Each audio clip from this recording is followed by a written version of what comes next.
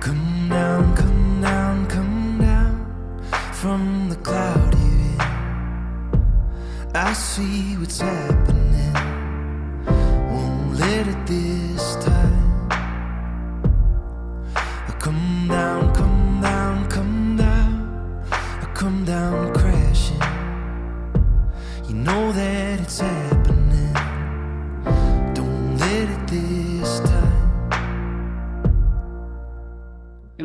Song had a lasting impression on me. I always find myself humming this song very often. And especially why? Because as i look back to that day and moment when i saw it live on the stage i recollected it that it's not not just a song but the person whom i met a few minutes before the start of influence in 2022 you remember uh, we were standing in the queue for registration and we started chatting? Yeah, I remember. Yeah. And I remember it was, you said that it was your first time to the event. And little did I know that I, I will find you on the stage as an opening keynote speaker of the event. Oh my mm-hmm. God. You're living your songs every moment. And that humility was so heartwarming and connecting to me, especially a singer like you. And today we are welcoming you on our podcast. Welcome, Peter, to our podcast, Your Story, Your Glory. We are so grateful to have you here with us. Uh, honey, welcome to you also from India. Thank you so much, Deepak, and welcome, Peter. I'm really excited to listen to your stories because this story, what Deepak just shared, I heard it, and I know the kind of impact that you had and your song had on him. And truly, then after knowing you from um, the songs, the work that you do, it has been really a touching experience for me. So, and we are very sure most of our audience uh, would have heard your songs, and today they are going to know a bit more about you from your stories. So, welcome to Your Story, Your Glory, Peter. Thank you. Thanks to both of you. I'm uh, very happy to be here. Uh, Peter, you know, you live the humility that the song talks about. We would like to know and please share with us how this song, this particular song, happened to you. Uh, well, it's interesting because you know in the in the past with my music, when I was you know just doing a lot of touring as a singer songwriter, I would always tell long stories about the the background of the song. Um, but as I've done a lot more speaking work and facilitation and that kind of stuff, I actually say a lot less, and I give it more just like an access point to for people to latch on to the song. So when I play "Come Down," the song you just played um, you know, rather than telling the whole backstory, I, I normally just say, now this is a song about letting go. And, uh, you know, I invite people in that moment to think about something that they might let go of uh, in order to make room for something new and what they might like to think about what that something new might be. So maybe that's breathing in gratitude or, um, you know, the good feeling in your heart to be amongst colleagues or whatever that might be, and just breathing out any of the things that aren't serving you. So uh, I will, though, give you the backstory that I don't normally give, uh, just seeing as we have an opportunity to talk a little more deeply. Actually, uh, that song happened at, at uh, sort of a, a, big transition time in my life. I was, um, I, I, had gone through a, a, divorce and I lost uh, my house, and and then this was this was like my number one fear coming true. My my parents had gotten divorced and we lost the house and and so my whole goal in life was to never have that happen and uh, then it happened and so and so i was you know I, I i sort of felt like i kind of came awake for the first time in my life and i realized that i had uh, just a lot of uh, exploration to do and things that i needed to understand and patterns i needed to unlearn and you know traumas i needed to heal and um, so i did all kinds of work and read all kinds of books um, but in part of that, uh, I went on a trip to Hawaii. I just had this solo trip there and just had the most kind of transformative experience. Just just the the the land in Hawaii is is just breathtaking. You know, you wake up in the morning and you're already inspired when you just open yeah. your eyes.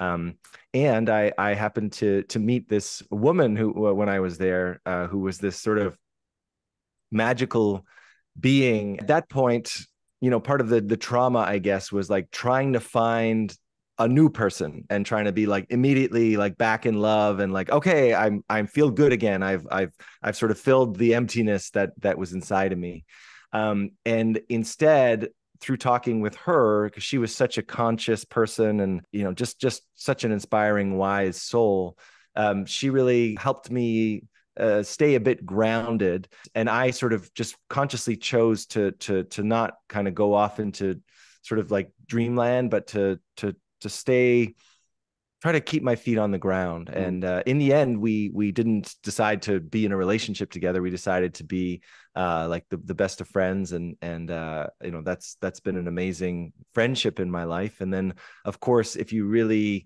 listen to the lyrics there's so much of the the landscape of hawaii that you hear in the descriptions and all of the the wisdom uh, that that exists when you look at nature and uh, you know the path of destruction the lava flow but then rich in nutrients and all these things grow and and you know no matter what the sky looks like you can find beauty in it even if it's raining or you know whatever that might be. So so much of the the wisdom of the nature of of that land is is also in those lyrics. Oh my god this is so beautiful. Hmm. lovely. Some songs you know they um they take a long time to write and you're really sort of have to think about it. And uh, but i came home from that trip uh, and I, I, I stopped in la to because i have some people that i work with there. And i sat down with uh, the producer and uh, he just started building that that drum drum beat. And he's like you know like why don't you get started on a on a on a on some melody or whatever? And it was like like I just wrote the whole thing in an instant. I just sat down at the piano, I played the chorus, and then I wrote all of the lyrics like almost instantly and he, he, turned around and looked at me he's like oh my gosh like he was sort of couldn't believe how quickly that i wrote the song but it was just it was so ripe and and ready for me to to capture oh, it. So yeah it, it was a very very special one. Thank you so much for sharing this beautiful story behind it. Yeah indeed a special story. Yeah. yes. So this was the story behind this very powerful song. Definitely a powerful song for deepak and me. Uh, Peter, from music artist to keynote speaker, from big picture thinking to mental wellness, from writing personal songs for your audience to podcasts, I mean, you are inspiring people in several ways. We would love to hear your story about how it all started and how is it evolving now? For the first 15 years of my of my adult life, I was a touring singer-songwriter and I had a very singular vision. It was I wanted to play Carnegie Hall and Sydney Opera House and Massey Hall, and and that that to me was that's what success is. Um, and it was playing these things called concerts and audiences and songs on the radio, and that was that was that was the very clear vision. And every waking moment of my life, and including when I was sleeping, I was thinking about only that. Um, and you know, it took it took about 10 years and then eventually I, I did have a song that uh, you know did did okay on the radio here in Canada and started having bigger shows.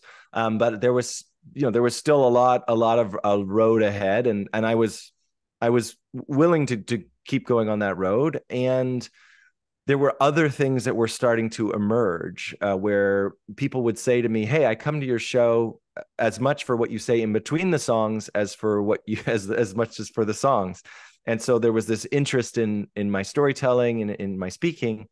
And um, i mean there was a whole bunch of series of events that happened. So you know deepak um, would have heard the story that i told at nsa about um, playing a concert in in a small town in alberta and you know never been there before not expecting anybody to be there. And there were hundreds of people that knew all of my music and uh, you know long, long story short this youth mentoring program had been using my music as part of their their yes. teachings and so hundreds of kids every summer were being exposed to my music and they had actually organized this um, this concert because they wanted me to work for them and they wanted me to come do this mentoring work with them, uh, which I I said yes to. I'm I'm about to fly there in two days and and do it again. I've been doing it every summer for the last ten years. Uh, I'm now one of the directors of that program, um, and so that was this really kind of unexpected thing that happened by having music out in the world that certainly wasn't something that was on my radar when I decided I was going to be a songwriter. I wasn't expecting to do youth mentoring work as part of that. Um, but the people that I became friends with, uh, who who run that program, they were the ones that first encouraged me to to create some kind of keynote concert. My friend Dave, he's a teacher. He said, you know, I, I work in schools all the time. He said, we we bring in these people who come and give inspirational messages. He's like, I've seen how you are with youth. I've seen how you are on stage in your concerts. If you put that together, I think it could be a really powerful thing. And so I built my first keynote concert. Uh, it was called "Why I Seek Discomfort," and it's about you know the awkwardness of of standing in front of a microphone and singing a song and the discomfort of that, and yet all of the amazing things that happen when you're willing to do uncomfortable things. Um, and so I did that for in high schools and stuff for for many years and youth conferences, and then eventually um, I was asked to uh, do a keynote for grown-ups um, and uh, it, it was a conference for entrepreneurs and I had this realization that the life of an entrepreneur is so similar to the life of an artist, where you have no set paycheck, no set hours. You're very passionate about this thing. You have no idea if it's going to work. It's probably not going to work, um, but you throw yourself into it anyways. Like that's what an artist is, and that's what an entrepreneur is. And so, as I was delivering that keynote, I felt 500 people just kind of lean in, and I realized oh my gosh, this is this is a this is a special thing. And after the the keynote, I was, you know, standing at the table at the back like I normally do at my concerts. And after my concerts, people walk up to me and they, you know, they're often they want a hug or they have tears in their eyes or they're sharing stories with me. And I had the same reaction, even though I hadn't just given a concert. And I was like, oh, I guess what I do is not limited to the definition of a concert. It could be a keynote or a keynote concert. And then and then I started getting into facilitation work where I would give a keynote for an organization and they would say, "Hey, we we'd like to to do more work with you." And so I I at the time I was like, "Well, I didn't know what that looked like. So I was like, I could do another keynote. Um, but then I realized like, oh, I could do deeper kind of organizational work. And so I became certified as a facilitator and now i get to facilitate events and retreats and workshops and design all that kind of stuff and then you know the podcast that i do with my friend dr robyn hanley-dafoe is another extension of that it's it's not so much that it's a concert or it's a keynote or it's a facilitation or it's a podcast or whatever that might be. I think it's just um, you know a quality of of kind of caring about you know humans and being really interested in in how we work and and basically taking things that don't exist yet right? They're out there in our consciousness they're out there in the in the in the, in the stars or whatever that might be and pulling them into things that now exist and it can be called a variety of different things and and that's what i'm actually interested in and that's what i actually love to do and so it sometimes looks like a whole bunch of different things. So beautiful. So from a musician to a key, keynote concerts and i'm sure you are enjoying your journey yeah i mean it's it's always uh, sometimes it's it's disorienting. I have to really catch my breath because it's it changes so quickly and and certainly with the pandemic uh you know everything was canceled as it was for for so many of us um and so then i i became i built a whole virtual studio and i i had to learn a whole new skill set there and and uh, and that really caused my speaking career to explode because I could do five keynotes in a day all around the world virtually and yeah. and so I've been I've been trying to in some ways just sort of catch my breath and figure out like what are the what are the the the most essential things that I want to do. I I just spent the last week working on a new album and I I feel really connected to uh, how important it is for me to make new music but yesterday I, I gave a keynote and I, I delivered a workshop for a you know an organization here in Canada, and that was really meaningful as well. So I think the answer for me is to um, be thoughtful around kind of what I say yes to, and and um, make sure that everything that I'm showing up for, I can show up wholeheartedly and and uh, and enjoy it. Because I think when I say yes to too many things, then you know I, I sometimes run the risk of doing these great things, but not really uh, appreciating it or kind of feeling burnt out on the other side of it. Absolutely. Thank you, Peter, for sharing your story with us and this journey from being a musician and now impacting so many lives, not only through music, but also through your speaking and facilitation. I always uh, have read about you, and I, I read that you are the thunderbolt for the soul. A lot of people call you this. You connect with your audience souls beautifully. We are very sure it's not easy. And to and I heard you that you try to find the overlap of your experience, that of your that to your audience. Mm. How do you do that? I, I heard you saying that that I try to overlap my experience with my audience. Yeah, I mean that's incredibly important to me. The root of that actually comes from from music. Like if you think about what a great song is, right? It's somebody sharing something from their experience, but in a way that we as the listeners can see ourselves in there. Um, so in my keynotes, I, I've always tried to kind of recreate that experience for people. And the way I do it in in in that modality is I do a lot of research. Um, and so, of course, I find out about the industry and the people who are in the audience. And I actually do interviews with some of the people that are going to be in the audience. Um, and I hear about their experiences and I ask them questions about, you know, some of their proudest moments and some of their challenges. And I, I just try to understand what their lives are like and as i'm listening to them i'm i'm thinking all right okay what are the common themes here or what are the what are the things that i can latch on to or what are the what are the things that I have in my life, uh, tools that I have that can be of service to somebody who's in their experience, and and that's I think has been a really key part of my the growth of my speaking career is um, you know I, I, feel very fortunate to hear this comment all the time as I, I, hear from clients they say no one's ever cared about us as much as as you have. And i want to make sure that i i honor the people that are there. And I don't feel like I would honor them if I just opened up a can and delivered a talk. I, I honor them by finding out who they are and by creating something that's specifically relevant for them. Thank it's you. so powerful, Peter. Definitely one word that come to my mind is impact. I'm very sure more, not many artists or not many speakers will be actually doing that. I mean, the very first point of connect is the client, right? You are trying to talk to the audience members. And that's the reason people find you as the most powerful speaker that they have met who has connected with their souls. Now I'm really looking forward to being in one of your concerts and seeing it live. But okay, with that, I have another question for you, Peter. So what I feel is that majority of artists look at creating music albums and performing on the big stage and to be in the limelight, right? You have taken a very unique uh, approach to songwriting for people, to people to have their own songs. Hmm. Uh, for their personal life, you are creating the songs which are unique to them, which might yeah. not go in public, but they impact their life. That's very powerful when we hear this. And surely the song creating process would be really evolving for the people who are doing it, right? For your clients at that time. Mm-hmm. I would love to know how is it helpful to you? What's in it for you? How are you evolving the process of song creation, personal song creation for your clients? It is harder in a way.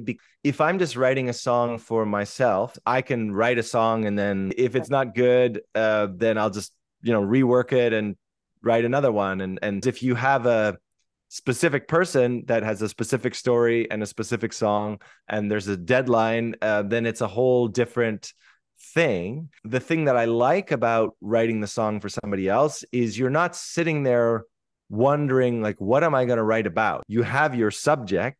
Um, but of course, you then have to figure out what's the what's the what's the unique angle or what's the key words or what's what's the special thing that I want to I, there's this thing that I want to say, but how do I say it in a way that is still kind of artful and musical and and um, you know all, all those kind of considerations. It's a really beautiful experience.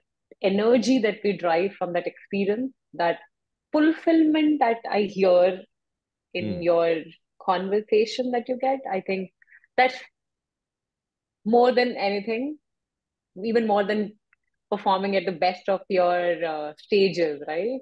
So. Mm Probably. They're all good. I'll take it all. Uh, Peter, uh, you know, we have always heard and experienced that also that we are always greatly influenced by close five people in our circle.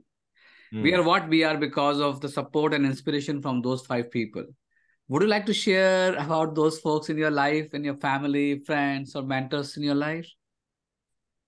Yeah, I mean, obviously, the first person that comes to mind is my my partner Tess. So she's definitely the person I I spend the most time with, and um, just uh, a really heart centered, uh, like just big heart centered uh, soul who um, yeah i think the, the, one of the biggest influences that she's had in my life is is we we've really done a lot of great work together um uh, you know brene brown talks about like we we only do the, our real work like in relationship not necessarily romantic relationship but but if we just sort of walk through life um solo um we, we don't kind of have the the the triggers and the the interactions and the things that sort of cause us to almost see ourselves in the mirror and then grow into the people that we really want to be and um, be able to to give and receive love in the ways that we really want to receive it. And so obviously you know Tess uh, comes to mind first and foremost. Well it's interesting because I, I do think about my family and uh, i and when i say my family i mean like my family of origin you know my parents and my siblings.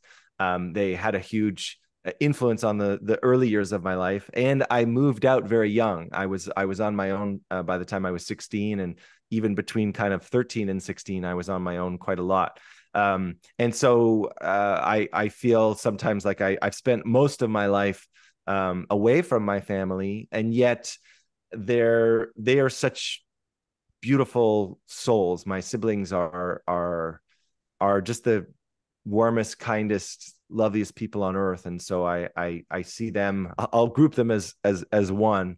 Um just uh, there's just the the genuinely kind humans. Um that's that's kind of where i come from in my family. So i i feel influenced by that. I, I think of uh you know the the the president of my my speaking agency martin uh, and his wife farah they're they've changed my life. They've really um, brought me into this whole speaking world and and um had a, a, massive impact on on the work that I that I do.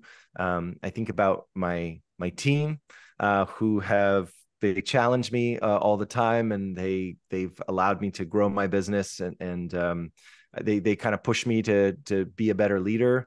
And then uh, I yeah, and then I think of uh, my friend uh, Dr. Robyn Hanley-Dafoe, who I, I do the podcast with, That's and yeah. um, we've we've been able to spend so much more time together uh, as a result of doing that podcast together and and um, we do presentations together we're we're about to run a, a little retreat together um, yeah I, I, mean i could keep going. I think about my friends michael and ron that i ran the leadership retreat in costa rica with. I think about the my facilitation community. I think about my mastermind community. Uh, there's just i have a rich life with the people that i i get to spend my time with. My gosh the, the working with those students has changed my life because i go there every summer and i'm i'm there to men, you know mentor them and teach them about kindness and integrity. And I've realized over the last 10 years that in order to really teach uh, kindness and integrity and those kind of things your number one job is to is to be that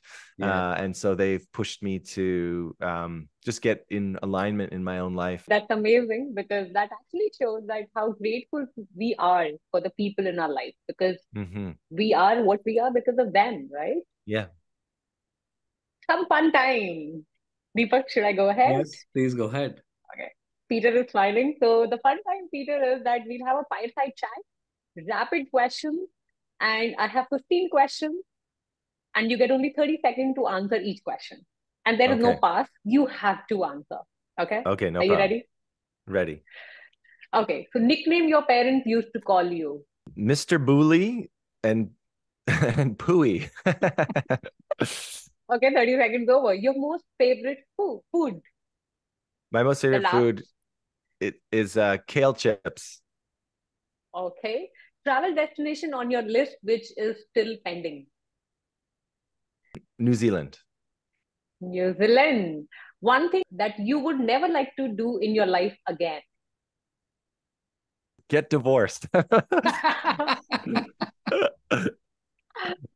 okay on the on a deserted island, what would be the three things that you would want to survive with? Yeah, so I would say music. Uh, I, I would I would have to have uh, you know a speaker uh, w- with music or or at least a guitar. Just a really comfortable bed. I love good sleep. So if I could get it get an island, my partner Tess, I'd want to have a, a friend with me, uh, not just a friend. Cool. we'll get all the all of them transported if that ever Yeah. happens. Yeah. The brand of your denim jacket. Oh, it's Levi's. Okay, Disneyland or Dubai? Uh, I haven't been to Dubai, so I'll pick Disneyland. Okay. Uh, Crocs shoes or Thursday boot? Oh, I wear Crocs a lot around here, so I gotta be honest. Okay, wonderful. Beautiful memory that you would like to live again. I played a festival in Zermatt, Switzerland, up in the mountains, and uh, it was just a magical experience. And uh, I'd love to get booked for that again because it was so special. Wonderful. Any ce- celebrity that you would like to date? Okay, let's go with uh, Margot Robbie then. okay. Okay, okay. Craziest item in your bucket list which is still pending. I would really love to go uh like to Africa and see like the animals and and like I don't know how to do that ethically and and like but to really just see like the the the, the wildebeest like you know run through the plains or elephants or giraffes uh, um that would be really cool and and to also scuba dive with sharks I think would be very cool. Ah. Okay, and that's the best plot for my next question. Which animal language you would like to learn? Definitely dog because uh, we have a 13 year old dog, and uh, so sometimes something is wrong. We don't know what, and so if I could just talk to her and find out what she needs, um, then uh, I would make her happy, and I would make my partner very, very happy because she loves her uh, more than any other being on planet Earth, even me. Even you, okay. If you could ask God one question, what would it be? What am I here for? Ah. Impact. You're creating so much of it already. Mm. Peter, would you rather wake up to an air horn blowing in your ear every day or wake up to have a four mile run every day? The run. We we do a a a- a run with the kids uh, out in Alberta every morning, so definitely the run. What's that something that you would never like to tell anybody? what is something that I never like to tell anybody? what kind of a question That's is that? question. Sometimes I drive a little too fast. Not not all the time, but sometimes. Wonderful. Thank you so much, Peter. I know these were a lot more element that you had to think, but I hope you enjoyed it. yeah, I did. I did. It was a little stressful, but I enjoyed it. But before you go, Peter, you would definitely love that you should sing for us for something that you have written for yourself but never gone public. Oh, well, I would need to grab my guitar. Uh, I don't have it. Yeah, wi- I, I, sure. I could not find the keys to my car, and that's where my guitar is. So, but I had this, uh, my little guitarlele here, so I ran and grabbed that. Lovely. right. So you want something that no one has ever heard? Something that you have written for yourself. Like, Okay. All right. I'll do this one. If you need to go, I understand. And if you need to go, I'll hold your hand. Hold you while you fly away from pain. And all the love you gave is what remains.